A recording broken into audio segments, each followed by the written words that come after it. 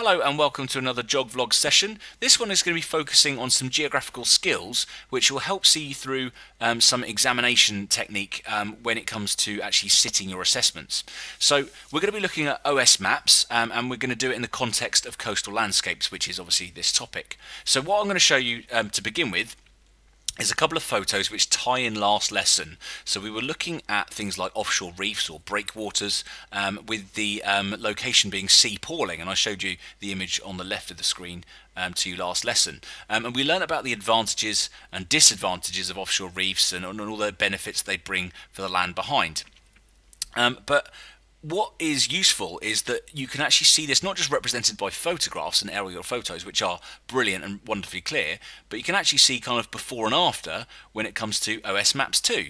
So this is an Ordnance Survey map of Sea Palling before the offshore breakwaters were built um, and they are actually they do appear on an OS map um, and this tells you that this area of coast at least must have been something that, uh, that was prone to longshore drift because these little lines here are groins and those groins indicate that enough money obviously was needed to prevent the sediment from being moved either downstream to the south uh, or southeast or, or further northwest depending on the direction. It would change depending on the conditions. Um, and further down also you can see that the beach is quite narrow. This little strip of yellow is quite narrow and although there are dunes behind the settlements in Sea at the time um, uh, won't be very protected. And you know there's industry there's a pub there and there's campsites caravan sites etc now if we scroll on to the next one which is a modern map of uh, Sea Palling with Sea Palling down here very similar. Now not only can you see that it's a slightly clearer map because it's newer but also you've got the very obvious offshore breakwaters um, visible in the map on the map too. Um, and you can see the width of the beach has increased significantly. You can also make out the old groins um, and where the old groins were. Now you can't actually see those groins currently um, because they are um, actually, I don't know where they are. They might be underneath the sand. They probably would have removed them, or you'd hope they would have removed them a little bit. Um, but effectively, they're not there anymore because they're not needed because the breakwaters are doing a far, far good enough job um, to actually help. And there you've got your dunes again listed and labelled here and here, which also kind of protect the land behind it. So Sea Palling is an incredibly well protected area, um, and this OS map provides evidence of that. But providing evidence on OS maps is, is one thing, but being able to quote OS maps for their evidence is another thing, and that's a skill you need to develop in geography. So the task you've got, and this this is saved on 365, this handout, um, and um, it's also um, from the um, Highland Cow book um, in the coast section. So this is just me taking that directly from there. So there, the credit goes to the the publishers of that, Pearson, um, and it provides you with a bit of information. And I would absolutely tell you to read this information before you attempt the activities on these two pages.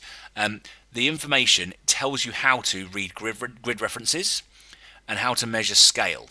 Uh, and and uh, one hint that it doesn't give you, but I will give you, is that any square on an OS map, if you're not sure about what scale it is, you know, this 1 to 50,000 thing, or you don't want to understand the whole 1 to 50,000, 1 to 25,000 scale, a really good rule of thumb is one box means one square kilometre and that is always the case. So if the box is bigger and let's go back to this map here okay this box here that does this that is one square kilometre but it's a more zoomed in map than this one because these squares are, are, smaller. They look smaller, but they're actually the same size. It's just zoomed out a bit. So again, the rule of thumb is one box in an OS map is one square kilometre.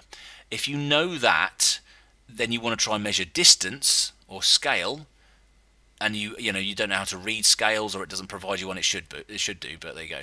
Um, you just have to measure one side of the box because if it's one square kilometre it means that's one kilometre and that's one kilometre so if you know the distance here is like I don't know three centimetres four centimetres whatever it might be then you know that that three centimetres is one kilometre so if you know that the distance between here and here is, I don't know, 8 centimetres, then you know it's 2.3 kilometres, or 2.6 kilometres, sorry.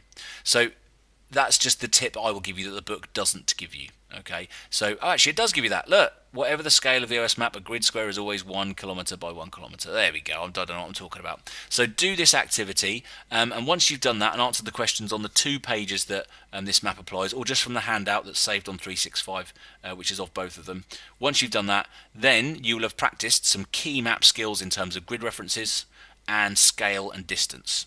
Okay, um, and that is the session. So that one is, is a nice easy one for you to do. Uh, it's not a long video, um, but investing time in doing the geographical skills means you are going to pick up those extra little marks which a lot of people will be a bit confuddled by and maybe not do.